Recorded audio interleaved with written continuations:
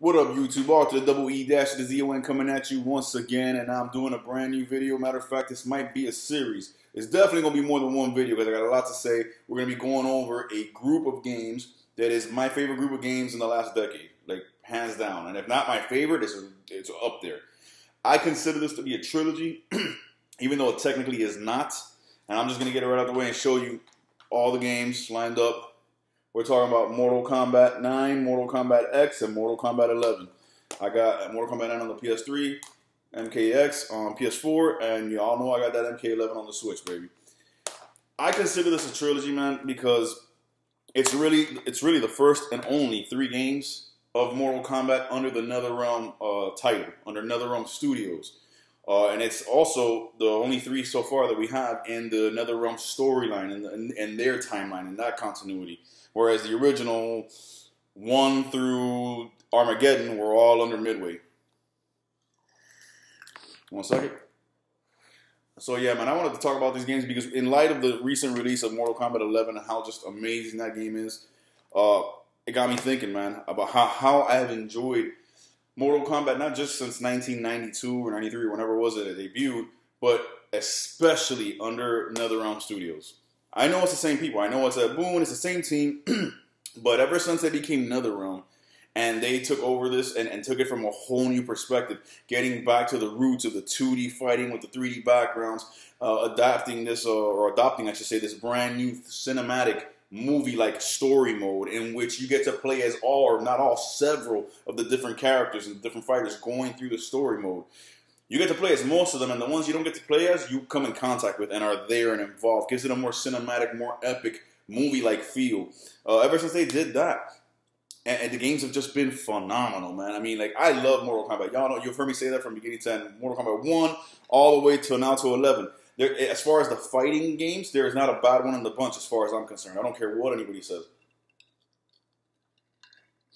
I know people have problems with Mortal Kombat 4, for example. Uh, some people didn't like Mortal Kombat 3 because Scorpion wasn't there. They brought him back in Ultimate for you whiny little bitches. No, I'm just fucking with you. But yeah, like they, people have certain issues with certain titles within certain of the fighting titles in the franchise. But in reality, they're all great fighting games. They're all Mortal Kombat. They're all phenomenal. But these three, man, I, mean, I I remember when I saw the reveal trailer when they first announced Mortal Kombat, which is really Mortal Kombat 9. Let's just be real, but they wanted to call it They just want to call it Mortal Kombat to make it clear to everybody they are starting over. And that's really what this game did. And, and, and if I gotta be honest, I love the story mode in all the games, man. Uh, t- uh, 9, X, and Switch, especially Switch. Oh my god, I mean Switch. One time, 11. Awesome story mode. But here's the thing, though. If I had to pick one, the rawest one is Mortal Kombat 9. And why do I say that? Because it's Mortal Kombat 1, 2, 3, and into Armageddon all wrapped in one it's just it's such an epic, and it's the longest one by far because it's covering three to four different installments of the franchise. If you really think about it, it's covering part one, part two, part three. It doesn't really go into four, you know, or Deadly Alliance or Deception or anything like that. Has innuendos of those involved in the story, but really it goes one, two, three, alt, um, uh, Armageddon. That's basically what it does, and then it restarts. Uh, like Armageddon is the end of all things, and that's where they left it before they made this game. So they were like, how are we to go forward with the story? How are we to go forward? We've convoluted the story so much. We have 80 plus fucking characters in this franchise, all of which were playable in Armageddon, which was just fucking awesome. Uh, but how are we going to go forward? How are we going to remake this story or how are we going to evolve it? And my dudes, they did the best thing they could have done. They literally said, all right, let's go back to the beginning, tell the whole story right up until this Armageddon point, and then we're basically going to reboot the entire storyline. It's going to be a whole different timeline. So that's what they did. You're playing through Mortal, Mortal Kombat 9 story mode opens up with Raiden at the top of the the pyramid of Argus. I think it's Argus or Blaze, Blaze's pyramid in Armageddon, where it's just him and Shao Kahn left. Everybody's fucking dead gone. Everybody's ripped apart. There's nobody left alive but those two. And they're going at it, and Shao Kahn's whooping the shit out of him. And Shao Kahn is about to kill him. And right before he kills him, right before he brings the hammer down on him, he basically, excuse me, he basically sends a, a message telepathically from himself right then and there in the present to his past self, all the way at the beginning of the first Mortal Kombat tournament, the first game that we've ever played, and sends himself a message saying he must win. That's all we know. We don't know who he is, and, and as it, the message goes back through time, you see flashes of all the different events that have happened through the history of Mortal Kombat. It's real epic, man. And then all of a sudden, all the flashes end, and you see you know, the, the, the, the Raiden of the past with Liu Kang and Kung Lao and everybody, and they're all standing in Shang Tsung's Island for the first tournament.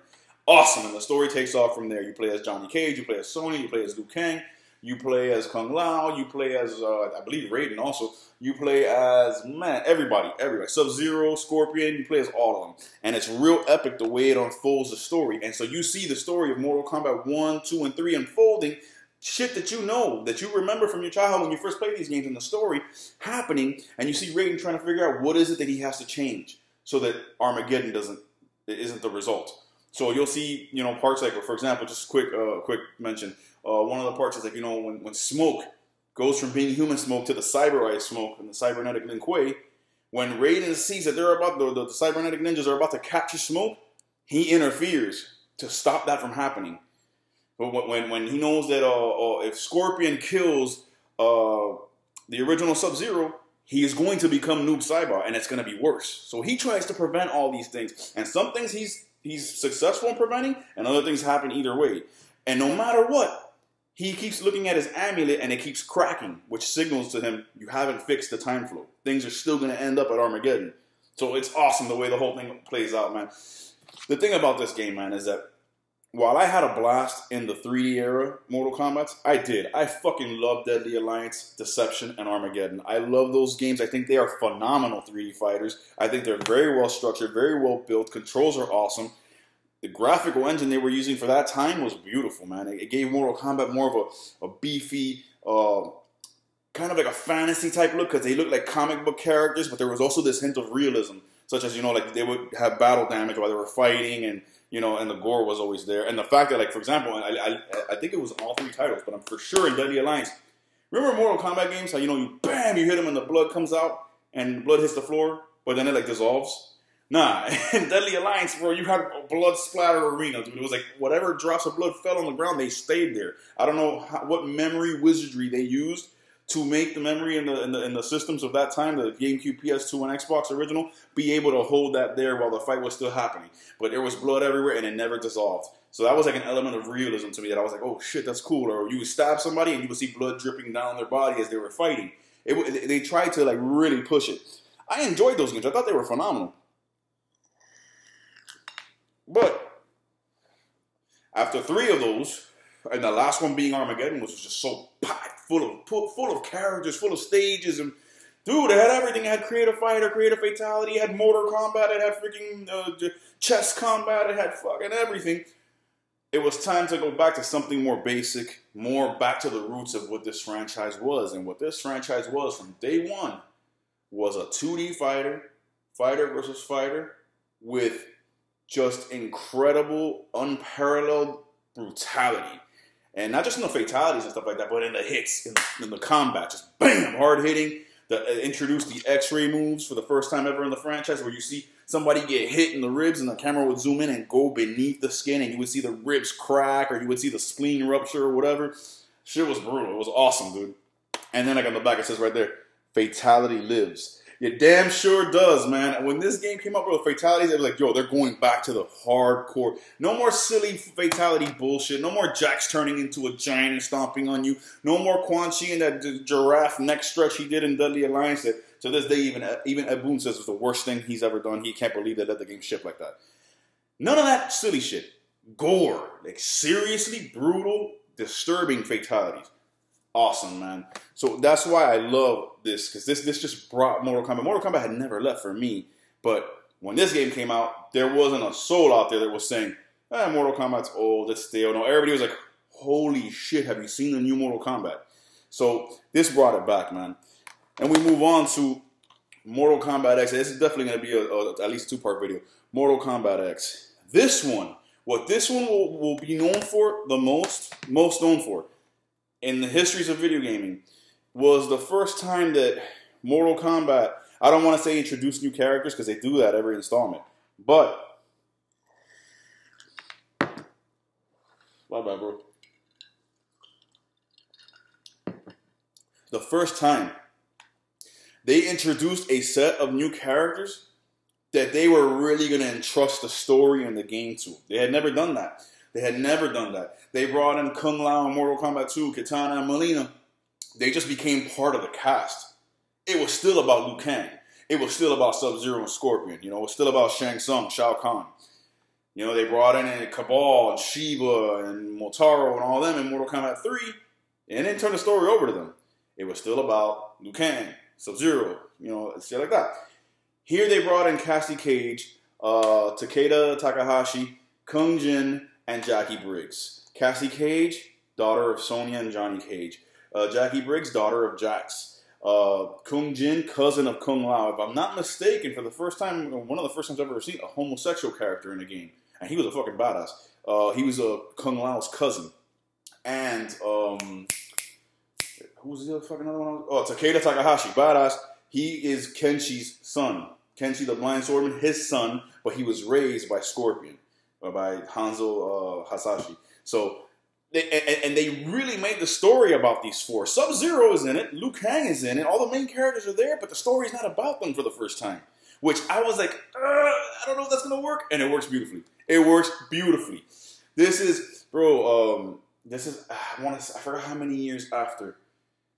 It's I think it's 25 years after the ending of Mortal Kombat 9 right?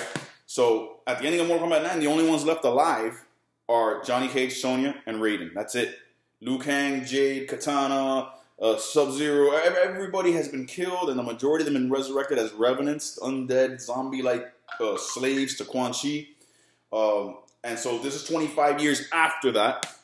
So you have uh, the kids, the new Mortal combatants, the new generation coming up, and Johnny Cage and Sonya and Special Forces kind of teaching them telling them what their mission is, telling them how they got to protect, protect Earth Realm.